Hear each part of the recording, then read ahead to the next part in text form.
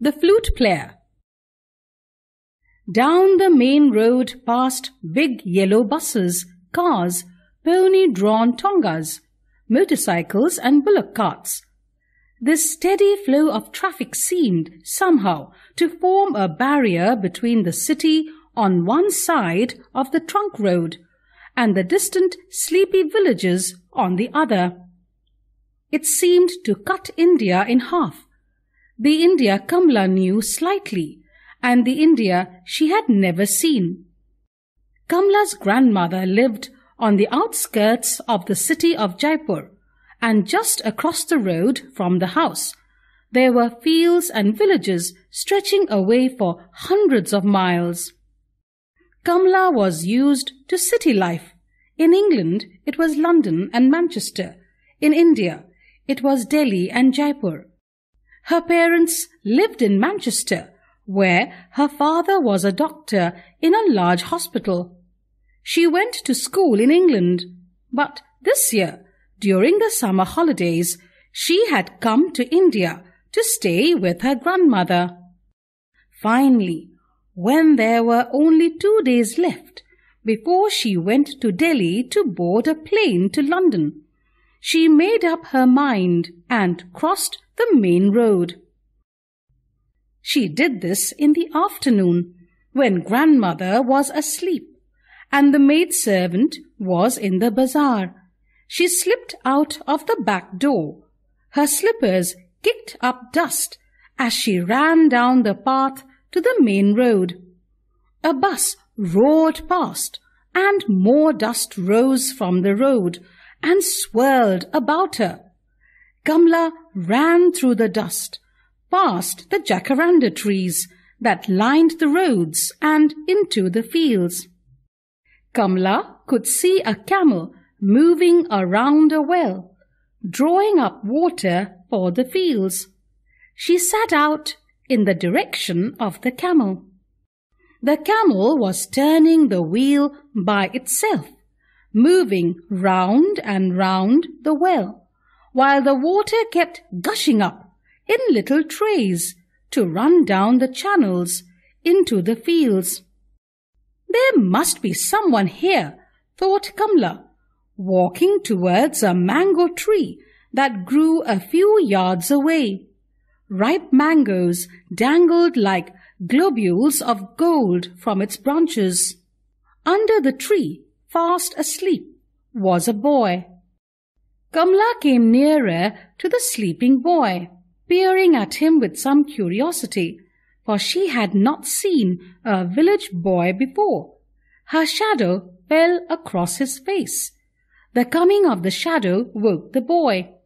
He opened his eyes and stared at Kamla. When she did not say anything, he sat up, his head a little to one side, his hands clasping his knees, and stared at her. Who are you? He asked a little gruffly.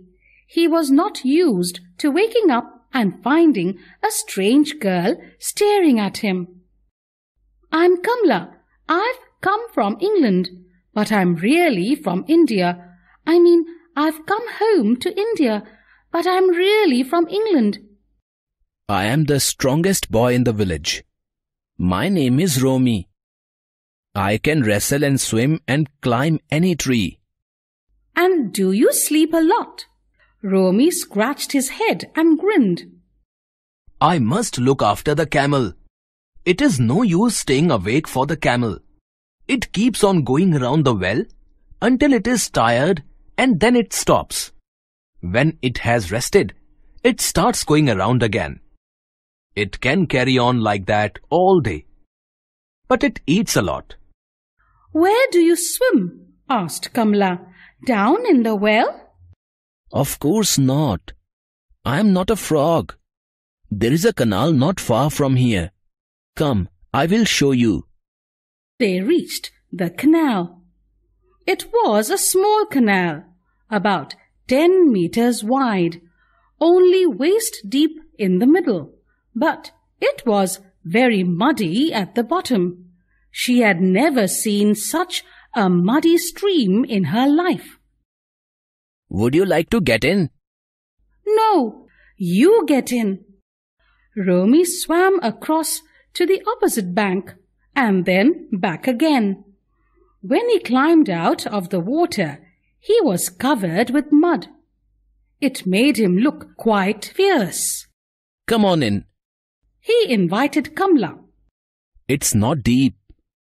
It's dirty, said Kamla, but she felt tempted to, It's only mud. said Romi.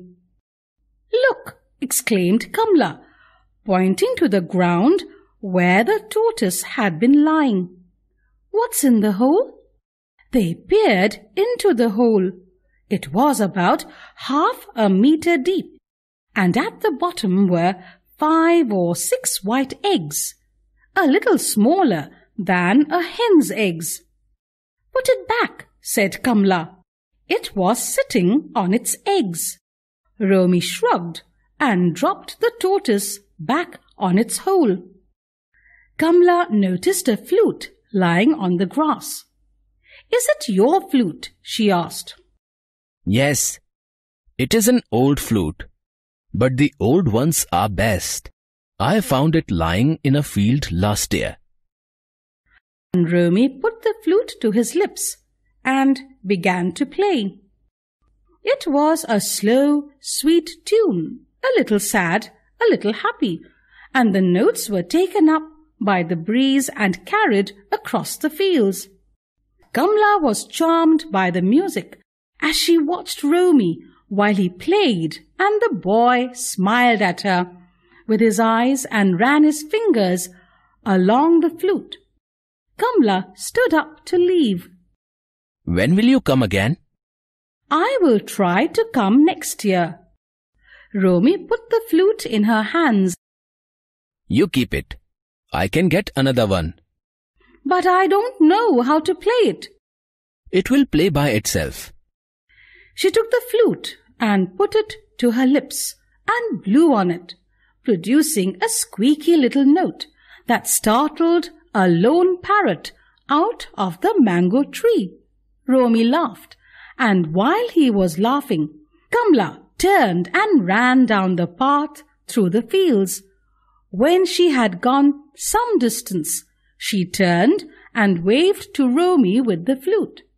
He stood near the well and waved back to her. Was England home? wondered Kamla. Or was this Indian city home? Or was her true home in that other India across the busy trunk road? Perhaps she would find out one day.